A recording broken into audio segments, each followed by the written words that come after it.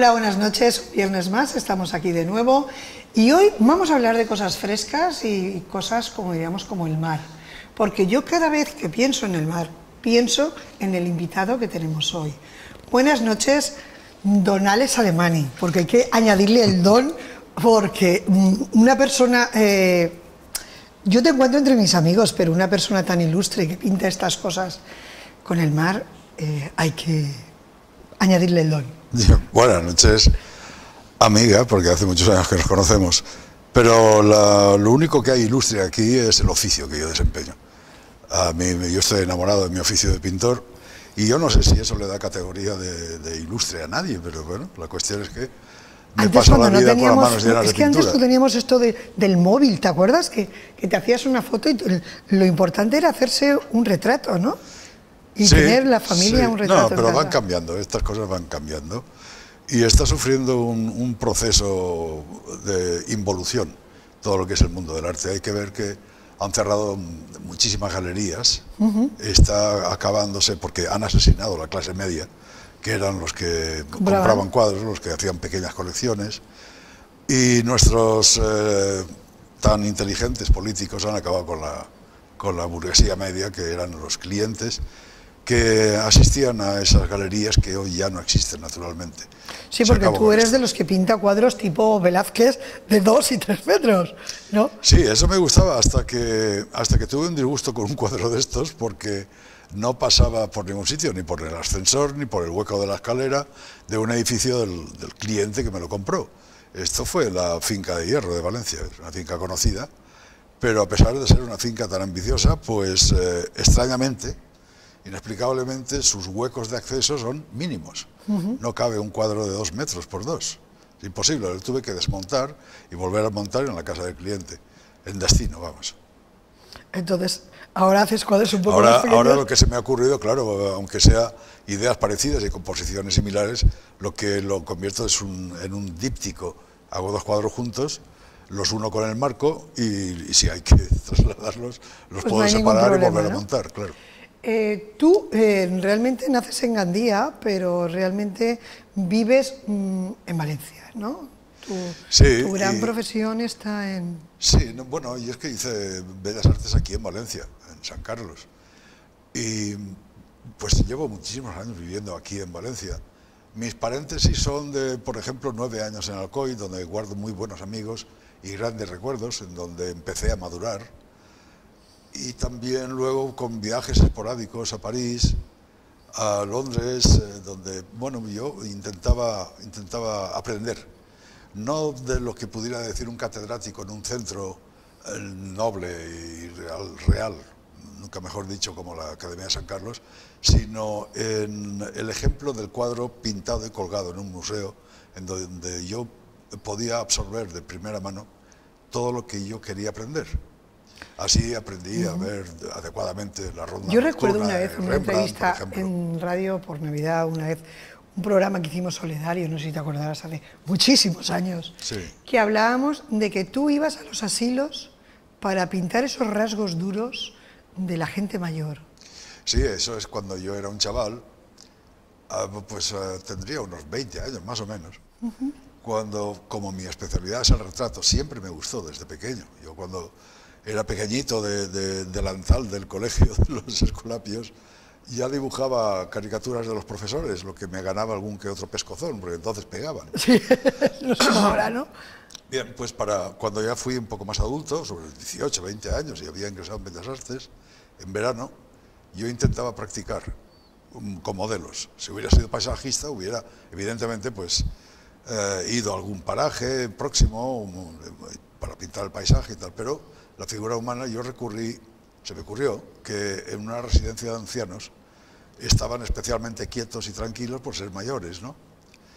La anécdota está en que yo intenté contratar, yo les llevaba botellitas de vino, eh, cacahuetes, algunos, durillos y tal. Entonces eh, intenté convencer a algún señor que estaba tomando el sol como un lagarto con la boca abierta, una mañana de, invierno soleada, muy agradable. Le repetí varias veces, señor, usted, si yo le diera unos duritos, usted me posaría un par de horas. Eh, y no me contestaba. Yo creyendo que estaba sordo, repetí con la voz más fuerte para que me oyera bien y de repente me levantó la mano y dice, mira chaval, no hace falta que grites. Lo que pasa es que tú no tienes dinero para pagarme una mañana de sol, que no sé cuántas me quedan. Fue, fue una anécdota que no olvidaré jamás, una lección de, de humanismo aplastante. Pero bueno, yo aterrorizaba a mis amigos cuando les decía, por favor, estate quieto un par de horas. no te muevas, ¿no? Era no te lo, muevas. Que, lo que me enamora es eh, la fisonomía humana, la figura humana. Y, y, bueno, en eso estoy, sigo con eso.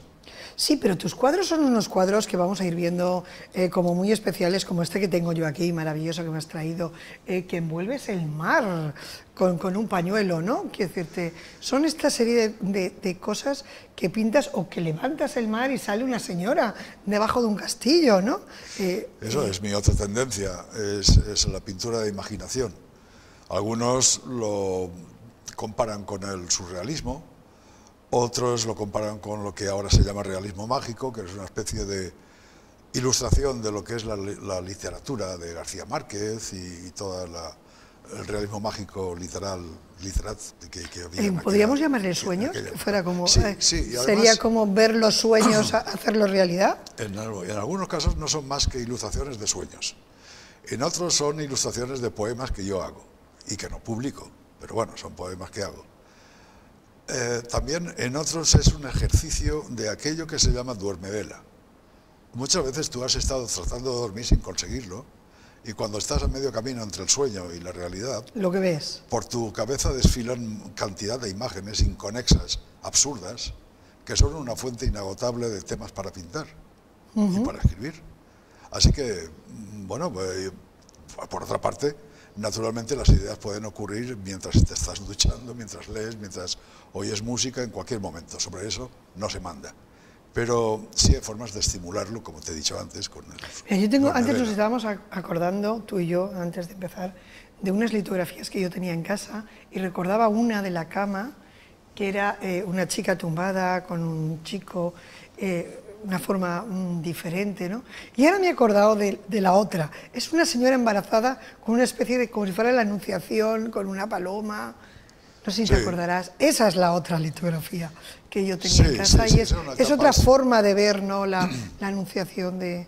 No, no, anunciación, nada, de religioso, nada. No, tengo No, decirte que no es esa, si lo quieres Sí, mirar sí, sí. bajo ese punto, pero es esa forma las diferente del embarazo me con dio las por considerar palomas. y estaba con una especial sensibilidad hacia el fenómeno de la maternidad.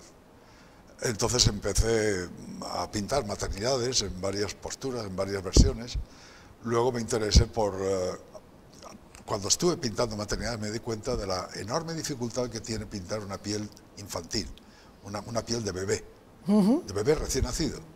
Está entre moradito, rosado, es, es un color Ese- tono, sacarle ese sí, tono, ¿no? Exactamente, ese tono me preocupaba y empecé a hacer ejercicios y pintar bebés con las limitaciones obvias que todos conocemos. Los bebés no hay forma de tenerlos quietos y que, y que bueno, pero que era la dificultad a mí me estimula.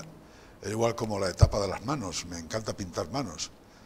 Eh, luego ¿Son también- complicadas? ¿Cómo? Las manos. Las manos. ¿Son muy Las manos- complicadas? las manos son tremendamente difíciles, son la prueba de fuego de un pintor. sí, por las manos se puede ver si un pintor es bueno o malo. Y muchas veces me en un retrato, por espléndido que sea, a veces ves que esconden las manos dentro de un bolsillo o en la espalda o, o detrás de un documento o algo así. Son- Entonces es porque no saben pintar manos. Mira, acabamos Sí, de aprender oye, algo. Las manos tienen una terrible Esta dificultad. parte magia que, mágica que tienes con el agua, Es que yo nací en Gandía, no hay que olvidarlo. Yo, cuando tenía la edad de las dudas y los granos, que van unidas, a los 14, 15 años, pues me iba a hacer ah, ah, preguntas a la orilla del mar, en Gandía, que nadie me respondía, naturalmente, pero es un lugar, un lugar espléndido.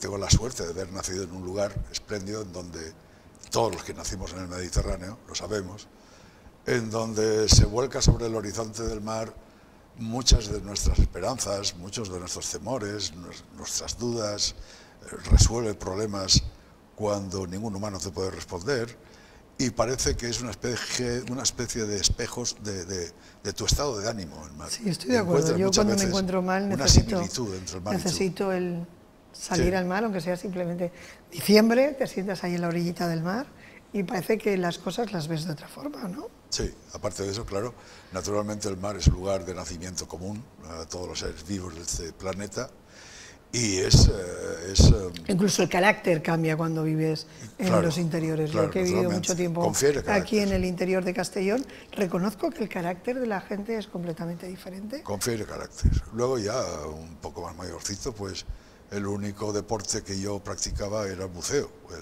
hasta que me di cuenta de que por desgracia el Mediterráneo está prácticamente agónico. Después de haber buceado en, Cuba, en Cuba, me di cuenta de que aquí, de por desgracia esto se está acabando, como no se tomen medidas, a pesar de que el, genio este Trump opine lo contrario, me parece que hay que tomar medidas muy serias para evitar que esto agonice quiero, decir la naturaleza en general, el Mediterráneo en particular. Yo últimamente eh, salgo los fines de semana con el barquito por ahí a, ver el mar, te encuentras cosas, eh, eh dices, uy, una bolsa, una botella, dices, Dios mío, cómo tira la gente. Es, terrible. Es, terrible, sí, es terrible. que a lo mejor dices, uy, no hay nada en el mar y el rato te encuentras ahí un, un trozo de bolsa enorme y dices, ¿y esto de dónde ha salido? Sí, sí. Y yo eh, aprendí a bucear en Moraira y eh, cuando yo tenía 16 años, yo recuerdo que medíamos la distancia a la que podíamos llegar, a 20 metros de profundidad, a pulmón libre, y desde arriba se, tú ponías las gafas desde arriba y veías las rocas de 20 metros de profundidad. Ahora no. Con una nitidez absoluta. Ahora se ve una especie de pasta verdosa, que es el depósito del gasóleo de los, de los barquitos y yatecitos de la, de la gente pretenciosa que tiene un barquito allí y que se ve negro para pagarlo, pero allí lo tienen, ¿no? Y que no se atreven ni ir a Ibiza ni nada de esto. esto pero bueno, en fin, eh, es lo que hay, es lo que hay. Lo que pasa es que lo que no se empiece a considerar y a formar desde el nivel de un colegio, luego no se consigue nunca. Y esa gente no estuvo educada en un colegio o no supieron inculcarle que el medio es sagrado, el medio en que habitamos es sagrado y que es un lugar común y que igual que no nos gusta entrar en una casa sucia, no tengamos la nuestra sucia también, claro. yo recuerdo cuando éramos pequeños, por generación, tú y yo, íbamos al colegio y una de las asignaturas que teníamos era la pintura. Ahora no. Ahora no, se está deshumanizando, están cargándose todo lo que es el paréntesis este de las humanidades. Yo comprendo que en una sociedad actual, a partir de la era industrial, los conocimientos matemáticos son importantes porque han construido toda una etapa en la, humanidad, ¿no? pero no todo es industria. No, pues no se puede negar que el cerebro tiene dos hemisferios, el izquierdo y el derecho. En el izquierdo están los ingenieros, están los arquitectos, están los matemáticos, están los que pueden definir una era industrial, y en el derecho están todos aquellos que hicieron el siglo de oro español, y está Shakespeare y está todo aquello creativo. Mm. Queramos o no, existe, sigue existiendo, porque desde niños se nota la diferencia cuando un niño es creativo y dibuja bien, y hay otro que le da más por, ser, por los juegos de ajedrez, por los, los juegos de ciencias exactas, y, y, es así, es natural, y no hay por qué esconderlo, ni muchísimo menos, también tiene parte de protagonismo, porque ¿qué sería de la humanidad todas las obras de arte que se han acumulado a lo largo de estos siglos, que gracias a la Iglesia, y ya es paradójico que yo diga gracias a la Iglesia, cuando ellos los hayan conservado, ¿no? Pero que ellos han atesorado y han apoyado y han eh, ayudado a, todo un desarrollo artístico que es histórico y que está en cada una de las paredes del Vaticano o, de cualquier iglesia. Yo he tenido la oportunidad de entrar en el Vaticano y ver esas salas prohibidas que no se dejan ver y ver esos cuadros eh, impresionantes. Eh, una por sus tamaños, porque son enormes, y otra porque eh, lo que estás viendo es que parece que te va a salir a la... ¿no? Parece que va en 3D, ¿no? Como las películas, ¿no? Que ahora a lo mejor no los ves. Encontrar artistas de la categoría mm, como contigo eh, es difícil de encontrar, ¿ves? Señores que hacen cuatro manchas y ya consideran que es son... Es muy difícil porque hay que trabajar. sí, porque es que... hay un eh, culto a, yo reconozco que a mí me gusta ver lo que, lo que hay en una pintura. Y esas pinturas que ves y dices, es que esto mi nieto lo hace mucho mejor, han hecho ahí cuatro manchas y ya creen No, pero que... siguen habiendo, lo que pasa es que no se les considera. Siguen habiendo muchos. En Facebook, por ejemplo, es rara la semana que no me encuentre algún cuadro colgado de alguien desconocido. Sí. Un pintor ruso, Mashenikov, por ejemplo, que es genial.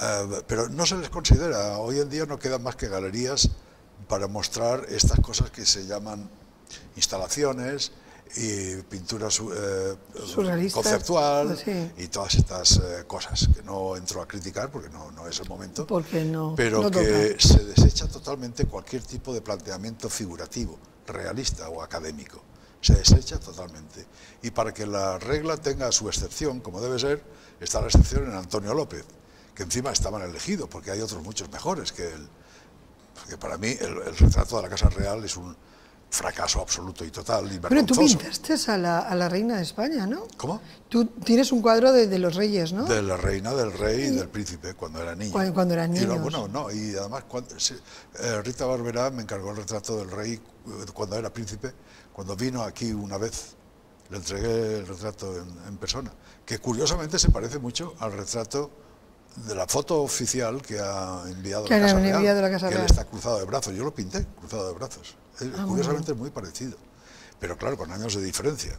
Ya. Bueno, dentro de tus cuadros también podemos encontrar que hay famosos. A mí hay uno que me encanta, que es de nuestro querido eh, Antonio Ferrandis. Todo el mundo lo, lo conoce como el, el señor del, Chanquete, del- el sí, verano, que tampoco le gustaba que se lo nombraran. Que yo me acuerdo que cuando le nombrabas eso de chanquete se enfadaba porque decía que había hecho muchas más cosas. Tenía, con ese personaje tenía una relación curiosa de amor-odio. Sí, sí, recuerdo, de- recuerdo de esa época, recuerdo esa Él época. estaba muy orgulloso de, de su popularidad por, por este papel, pero al mismo tiempo le fastidiaba que la gente ignorara otros papeles. que Otros había papeles, yo me acuerdo que Muy alguna vez encontrármelo sí, ahí y cuando la gente decía se enfadaba. Y recuerdo que iba con hecho. mi Es que marido. también era muy cascarrabias. ¿eh? Bueno, Era muy recuerdo cascarrabias. que en aquel momento el que hoy es mi difunto marido eh, fumaba y como a él estaba que había dejado de de fumar, todo. bueno, le decía de todo, le quitaba el tabaco y, y el pobre se quedaba allí todo plantado y me pero decía, ¿qué he hecho? aquel- Decía, pero Antonio, tira el tabaco, no sé qué, le montaba unos números. Sí, sí. Pero era contradictorio. Sí, sí, sí, sí. Pero luego se le pasaba ese ratito me- y era encantador. A mí me quitaba cigarrillos Sí. y decía, voy al baño. Y se lo Y si al cabo del rato, bueno, una vez me ocurrió eso, ¿no? Que al cabo de un rato yo tuve que ir al baño también y aquello era un- un- Una fumadera de- una humareda que para qué, ¿no? Era contradictorio. pero no Contradictorio, sí, delante porque público te montaba el numerito. amenazas muy serias de su médico porque tenía los bronquios muy mal, pero, pero bueno, Pero era- bueno. además era cascarrabias y un domingo de mayo que se empeñó en ir a comer a la Pepica, Sí, en la Malvarrosa. sí. Digo, Antonio, un domingo ha- habrán 40 comuniones allí. No te- Claro, no nos vamos a otro sitio, Porque ¿no? era el momento de que se estaba proyectando eh, eh, la, la- la serie esta. Sí. de- de- ¿Cómo se llama la serie, caray? No Eh. Verano Azul. ¿Eh? Ma- Verano- Mar- sí, sí. eso es. Pues eh, no, no, que yo quiero ir, yo quiero ir, tengo el capricho de una buena paella y tal y cual. En resumen es que me tuve que pasar la comida haciendo de guardaespaldas suyo para que no se acercaran los niños, porque es que no le dejaban Claro, comer, gobierno, claro. no dejaban comer, ¿no? Claro, Sí. eh, no, no valía nada decirle, ya te lo advertí, pero claro. Pero Antonio era muy que- cabezón. Lo que hacía era echar la culpa a las madres, A las madres. no a los niños. Pero era entrañable, era entrañable. Yo le he visto dar ayudas espectaculares a gente en dificultades. Sí, también hay que recordar que esa parte humana de Antonio Era era, muy- un señor como de quitarse el sombrero, de, Sí, de- sí. de- Sí, cascarrabias, pero. el- muy- era un cascarrabias, pero era, trozo de pan. pero era un trozo de pan encantador, como tantos artistas valencianos que hemos tenido aquí y la gente ni se ha enterado, ni se ha enterado, han pasado desapercibidos. Es que el valenciano es un personaje digno de estudio, ¿eh? Sí, Somos exactamente igual que las fallas. Nos encanta hacer un monumento de la vida de alguien para luego pegarle fuego. O sea, mm, y catapultamos a alguien a primera línea, lo idolatramos un rato y luego ya Le pegamos fuego. lo vapuleamos. Es curioso. Con la única excepción de cuando las medallas te las ponen fuera. Si viene alguien de fuera y te ponen medalla. y reconocido, Sí. entonces ya cosa. eres otra persona. Sí, sí. O otra situación. Falleces y entonces, ¡ah, qué bueno era! ¿No? También. Esa Antonio. Antonio me contaba una anécdota de una noche cuando había la muestra del cine valenciano, que estaba, eh, para inaugurarla iba con Rita Barberá, con Catherine Deneuve, creo que era, y, con- no, y actores franceses, me parece, que yo no recuerdo muy bien. Y dice él que el corro de la gente que había en el pasillo, dice, mira, esta es, es eh, fulanita, aquel es Menganito, hizo aquella película, y cuando pasa él dice, ah, mira este. Dice que fue la mayor lección de humildad que le dieron en su vida. En su vida. Pero tenía que pasar porque estaba Para en que lo Valencia, entendiera, claro. ¿no? Estaba en Valencia. Somos así, ¿qué le vamos a hacer? No sé si eso... Lo que es cierto es que no parecemos ni, ni primos lejanos de los catalanes. Por- mucho que digan de países catalanes, no nos parecemos en nada. En nada, absoluto. sí, ellos cuidan Tenemos mucho lo suyo. ¿Cómo? Que ellos cuidan mucho lo suyo. Exacto, por eso, porque ellos tienen parte de ese vicio que tienen los eh, franceses, ¿no? que, tienen- que ayudan mucho. Por ejemplo, ahora han terminado una película que se llama La Catedral del Mar y lo primero que han hecho ha sido restaurar la iglesia Sí, sí. Y, y- y- y- y vender entradas y sacar provecho del libro, ¿no? Sí, sí. No, Es decir, que nosotros, pero no nos parecemos mejor- en nada, en absoluto, ¿no? No. Y, y bueno, pues eh, toda esta historia del independentismo y todo esto, yo opino sencillamente que divide y vencerás. Si no hay equipo, no hay partido. Me parece una aberración tratar de fragmentar una, una nación, un país. Es una aberración. Además, es que no sería más que el comienzo de algo terrible. Y Porque inmediatamente vendrían los vascos, y luego los gallegos, y luego los valencianos por no ser menos. Y esto acabaría Y en un acabaríamos reino de aquí como el taifas, Rosario de la Aurora, Y ¿no? en tribus, y en una aduana en cada barrio, y en una banderita en cada manzana. Eh, he visto por ahí algún cuadro que te ha dado últimamente por pintar niños. Niños, sí, sí, ah, sí, sí, niños, eh, pero por la dificultad. A veces me gusta, me gusta ponérmelo un poco difícil. No, no es que sea Digamos, esa pero- asignatura pendiente que dices, eh, mm, voy a superarme a mí mismo y pintas niños así con, Sí, eh, es- de, de todas formas, fíjate. a través que de ventanas y viendo... Es- Son mis nietas, en realidad son mis nietas. Lo que pasa Ah, es que muy bien. las modifico para. Porque si se parecen demasiado, luego me sabe mal deshacerme de ellas, de, Claro. de los cuadros, ¿no? Esta es la que estábamos viendo, por ejemplo, mi, mi nieta, que ahora ya tiene 11 años. Muy bien. Esta es Abril, pero que si el parecido fuera, si me hubiera cuidado más del, del parecido, me hubiera sabido muy mal venderlo. Claro. Y así lo compraron los chinos y bueno, pues.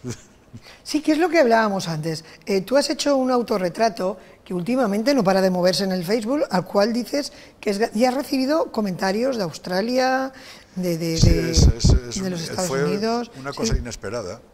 Me pinté a mí mismo, pero el personaje que yo estaba pintando también me, me pintaba. Pintaba a a mí. ti, sí. Y bueno, pues yo de, de repente, al cabo de más de un año, apareció en un periódico en Sydney, Australia, en otro en, en Nueva Zelanda, luego otro en México, sí, claro, en México, esto es, y además una mexicana me preguntaba que qué fecha lo había pintado, porque ella había pintado una idea parecida, lo que pasa es que el- el- me enseñó la foto del cuadro, era terrible. Pobreta, ¿no? La chica joven empezaba a pintar, y- pero bueno. Tu- Tuvo una repercusión eh, tremenda porque salió en todas partes y, y, bueno, y al final incluso se vendió porque un autorretrato siempre extraña mucho que se venda. ¿A quién le interesa la- el aspecto de un pintor y más con esta cara? Ay, siempre con Por- esta cara. Por partida doble. en el cuadro, Será, será el amor que yo te profeso durante muchos años. Como te decía antes, estás guapo hasta sin coleta. Quiero decirte, eh, yo te recuerdo, eh, para mí ver tus cuadros era algo. Y me siguen encantando, es algo que te lleva, es que es como meterte dentro de un sueño. Pues, eh, ¿sabes qué me ocurre? Es que cuando yo termino un cuadro ya no me gusta. Vale. Me gusta el próximo. Es- Pero es- mientras lo estás pintando. Yo es que este- soy un fiel seguidor de esa idea, de ese proverbio, de que lo bueno está en el camino, no, no, no en la meta. Yo mientras hago un cuadro disfruto. A veces sufro, claro, porque cuesta y no sale, hay que borrar y hay que volver a empezar y tal y cual. Pero ese proceso a mí me hace feliz, le da sentido a mi vida. No, no he querido jamás hacer otra cosa más que eso. que pintar.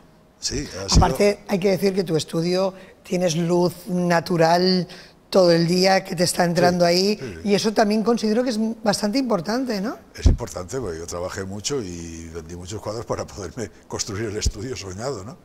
Y ese estudio está hecho con, con el fin primordial para, para pintar. De, con idea de, que la luz, natural te... La luz del norte, que es la mejor, sí.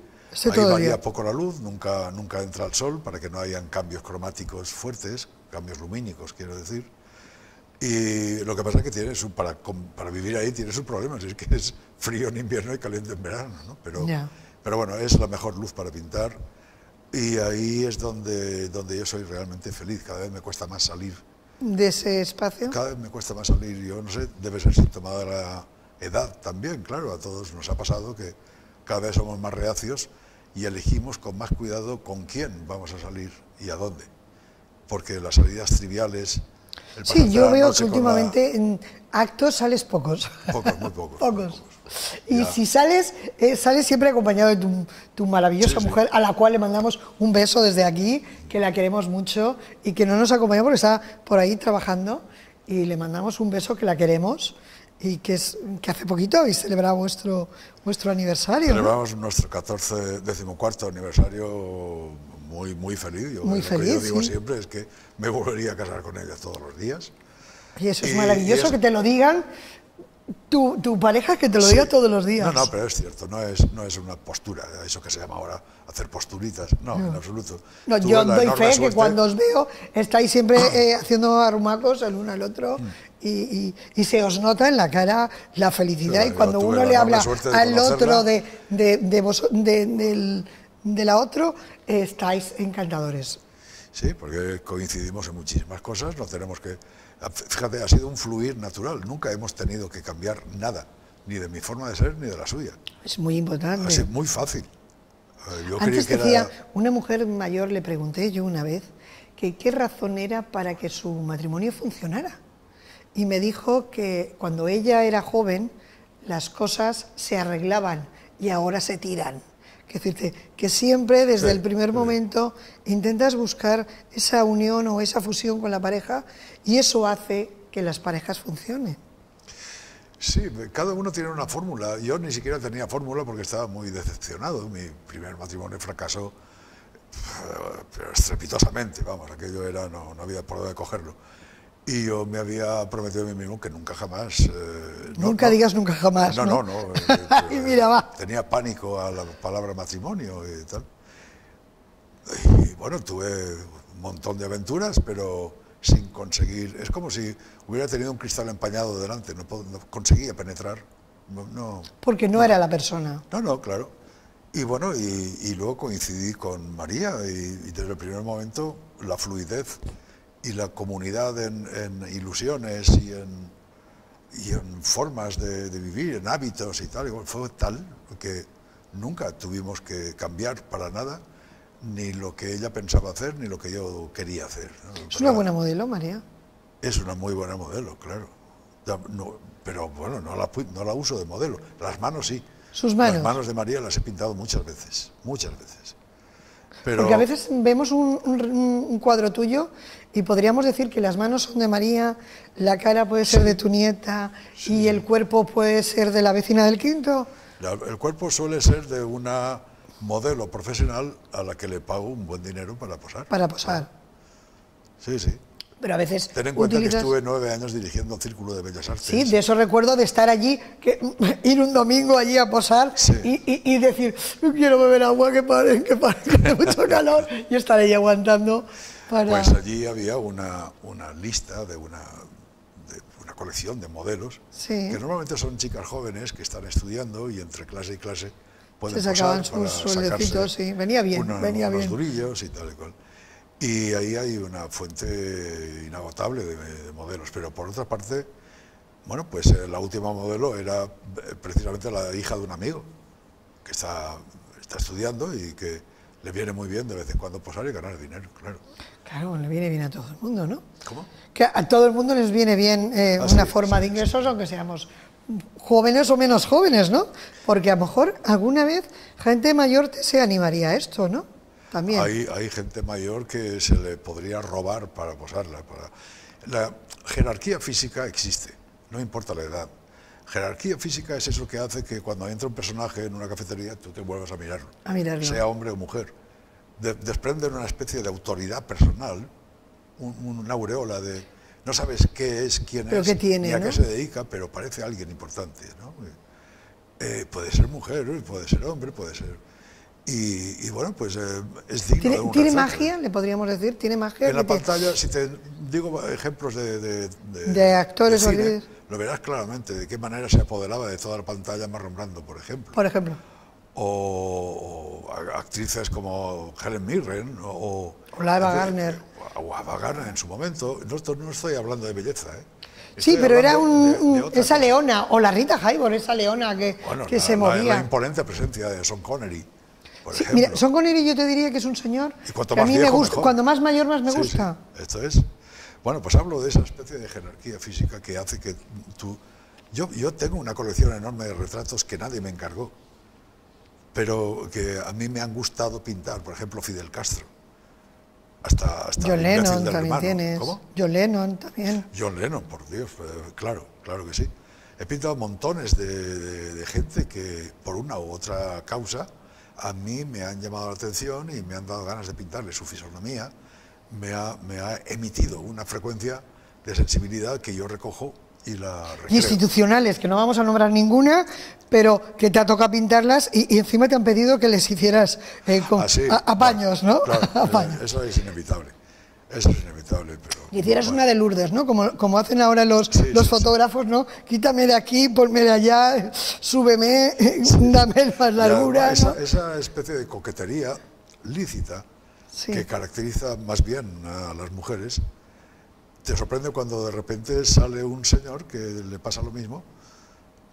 Yo pinté a un notario, eh, del colegio de notarios, un presidente de allí, un decano de allí, quiero decir, y, era- y yo, natural- hace muchos años, y no, no voy a decir el nombre, claro, No, no, no, que, que me pidió que por favor que el bigote que, que se lo pintara más negro, que se lo había pintado muy gris. Y claro, ya tenía el bigote gris como yo, claro, y, y no, que por favor, que, Que me dé un poco me- más de juventud, claro, ¿no? El pelo más negro y el bigote más negro. Digo, pero mira, se van a reír de ti y de mí cuando cuelgue el retrato. Que al final el retrato no es para ti, es para el Para el- colegio, para el decanato del colegio. ¿no? Se van a reír de los dos, hombre. Por fin le convencí, menos mal. Menos mal. Pero era inesperado que un- todo un notario ya muy mayor de edad me saliera con, con un eh, rasgo de, de- de coquetería como ese. ¿no? ¿Cuál de los grandes pintores de la historia eh, te atrae más? No sé, un Picasso, un Son tantos que no acabaría en una, No acabarías, en una ¿no? noche de, de explicar desde Rembrandt hasta nuestro Sorolla, el John Singer Sargent, mm, eh, Thorne, eh, muchísimos pintores, no necesariamente conocidos ni famosos, ni mucho menos, porque esto de la fama eh, es algo que crean los críticos, eh, que no siempre son sensibles al arte, son teóricos. Mm, Recuerda y ten en cuenta que una cosa es tener datos y la otra cosa es tener conceptos y sensibilidad. Se puede ser un empollón y llegar a presidente del gobierno como nuestro presidente Rajoy, que está sobrecargado de datos, pero por lo visto conceptos no tiene ninguno, porque está quieto como don Tancredo sin hacer nada, ciertas cosas que habría que solucionar. Y en esto es lo mismo, la historia del arte la han escrito personajes atiborrados de, date- de datos, pero no necesariamente de la sensibilidad necesaria como para pescar a un autor que está escondido en un pasillo desconocido. Así se descubrió el Bosco, nada menos. Cuando alguien de verdad tenía sensibilidad necesaria como para ponerla en primera línea. ¿no? ¿Qué te parece lo de la Sistina valenciana? ¿Perdón? esto que- la Sistina valenciana, la iglesia de San Nicolás, que, que- que han Sí. sacado ahí todos esos frescos. Pues sí, sí. Es eh, impresionante. Es una labor muy digna, muy digna por parte de- del señor Roch, de su esposa precisamente, restaurar algo así. Y yo lo que me gustaría es ver restaurado también los Santos Juanes, porque el entorno en donde está, además de que ya tiene su importancia artística, le vendría muy bien una restauración para estar dignamente en el, entorno en donde está, que es una afluencia de turismo, tanto la lonja como el mercado central. Sí, es una aquello. pena, es una pena. Es una pena, aquello se podría completar y hacer un triángulo de atención turística que sería soberbio. Eso sí, acuerdo, me gustaría, eso es más urgente que el carril bici que se ha hecho, que se han gastado tantos millones, Sí, con esas bicicletas que además siguen teniendo la carta blanca de ir y circular por donde les dé la gana. Eso sería otro programa. Sí, sí, Eso sería otro programa. Eh, Alex, eh, sé que tu hijo, eh, porque me lo he encontrado alguna vez en tu estudio, mm, pinta, eh, yo no le diría mejor que tú, pero tiene otro estilo propio, parecido a en líneas, pero mm, va a ser una gran promesa de la pintura. Mi hijo es un gran pintor, es un gran pintor, pero las vicisitudes de esta crisis eh, que ha arruinado a tantísima gente hace que para mayor seguridad, porque él tiene familia, Claro. ya, cuando uno tiene familia se convierte en un cobarde, porque hay gente a quien proteger, en este caso dos niñas, dos nietas mías. Entonces la aventura de pintar, que siempre es un ingreso incierto, ha hecho que se decantara más para otro tipo de pintura que aquí en Valencia eh, es más segura, más productiva, que es la pintura en fallas. Él hace, pinta los personajes y la escenografía de fallas de la sección especial, con, con premios, con premios. eh, eso es digno de Que mención. también son, es gran arte, Pero aunque que- luego la quememos, ¿no? Sí, sí, pero, pero que es curioso y a mí me sensibiliza mucho porque es precisamente lo que yo hacía para ganarme la vida, cuando, cua- para pagarme la carrera cuando yo empecé. Yo, eh, cuando antiguamente existía un, un sitio que parecía de sueños de Walt Disney, era la- el Palacio de Ripalda. Ah, sí. Lo que ahora es la aquí pagoda. sí. Que lo de- desmontaron y se lo llevaron de. Viveros, exacto. En, esa- en esos grandes salones se montaban las fallas grandes, como la falla de la plaza del ayuntamiento y todo esto. Y yo cuando tenía 18 19 años, pintaba los ninots de esas fallas con Modesto González, un artista fallero inolvidable, un poco, un poco padre mío de, de estas cosas, ¿no? Y bueno, pues lo que yo hacía entonces, eh, mi hijo lo está haciendo ahora. Bueno, Es una forma cómo de, el de- destino juega a veces. Sí, nos une, ¿no? Diferente. Pero mi hijo tiene... ¿Y tiene- las niñas? ¿Cómo? ¿Les gusta pintar? La- son demasiado jóvenes, 14 y 11 años. Pero no pintan, no hacen ahí... No, no, son estudiantes brillantes, nunca sacan menos de 9 y medio, o 10, es lo habitual en las dos. Pero no las ves haciendo ahí pequeños... Pero es que a esa edad, salvo bichos raros como yo, eh, sí, sí, porque a esa edad yo dibujaba muchos retratos, ya a mis compañeros los dibujaba todos. No hace mucho, la semana pasada, el, el viernes, eh, tuve que, bueno, no, sábado, pero qué más da, tuve que ir a una comida de promoción de bachiller. Esas comidas en las que tenemos que hacer un esfuerzo para recordarnos unos a otros, Sí. para reconocernos, porque el que no ha engordado mucho, el que no se ha quedado calvo del todo, el que no ya tiene el pelo blanco. Yo, yo estas, en esos casos siempre digo, hola cariño, ¿cómo estás? Soy No, muy pero- diplomática. Pero como curiosamente la memoria hace estas cosas raras que recordamos el nombre y los dos apellidos, de oírlo en las listas, cuando pasaban lista a los, a Claro. los colapios, pues eh, bueno, pues tú eres José Baldó, pues tú eres Federico Olivares, y te- bueno, pues eh, ahí me recordaron todos que en bachiller yo los había dibujado a todos. Los Qué había bueno. dibujado a todos ya. O sea que yo, por lo visto, mm, fui un poco prematuro en este sentido, ¿no? Por eso te preguntaba. Pero las niñas no son normal, la que destaca la mayor es música. Ah, bueno, es otra forma de ver el arte, ¿no? Sí, pero le tuve que regalar un piano y eso es caro. vale, también. Pero es una niña brillante en todo, con una, con una sobresaliente tendencia a la responsabilidad, sentido de la responsabilidad. Muy bueno. Si, si se equivoca en un ejercicio es capaz de empezar de nuevo todo hasta que le sale bien, perfectamente bien. ¿eh? Esta es una gran virtud. Constancia. pero que habrá que cuidarla porque llevada a un exceso puede ser un defecto, ¿no? Porque Sí, la- sí. El exceso de la, la- Tengo una ese, sobrina que le pasa igual. ese preciosismo y Tengo una sobrina que le pasa igual y en la época de los exámenes me acuerdo que perdía incluso kilos de, de- del estrés sí, sí. y, luego era de las que sacaba matrícula de honor. Me acuerdo que un día me la encuentro llorando y digo, ¿pero por qué lloras? Es que he sacado un 7. Y dices, pero siete". cariño, un 7. ¿Quién quisiera sacar un 7? Sí, pero es que eso es muy malo. Claro. Cuando yo la nota más baja es un 9. Decías, Nada, mis nietas son iguales, iguales, les pasa lo mismo. Te das cuenta que, lo mal como lo sufren y otro le dan un 7 y estaba bailando. Claro. Sí, yo mismo hubiera, hubieras bailado. Para ¿no? mí un 7 era una fiesta, claro. Retornando a los cuadros, Química y tal. eh, ahora en estos momentos, ¿qué, qué inspiración te está, te está llevando ahora? Ahora estoy pintando un cuadro grande también, como ya te he dicho antes, el, el díptico este, Sí, con tres modelos, tres chicas grandes también, de tamaño natural, en donde yo, es, em, fíjate que últimamente tengo en- el, el tema de los espejos. qué bueno. Yo cuestiono la fidelidad de los espejos. En un espejo se refleja una manzana mordida, pero en realidad la manzana está entera. Es un ejemplo. En un espejo la mujer, eh, la imagen de la mujer está desnuda, en la realidad está vestida. Estoy jugando con esas ideas, ¿no? La, la a la fidelidad, imaginación, la fidelidad parcial, o el, más bien el paso del tiempo.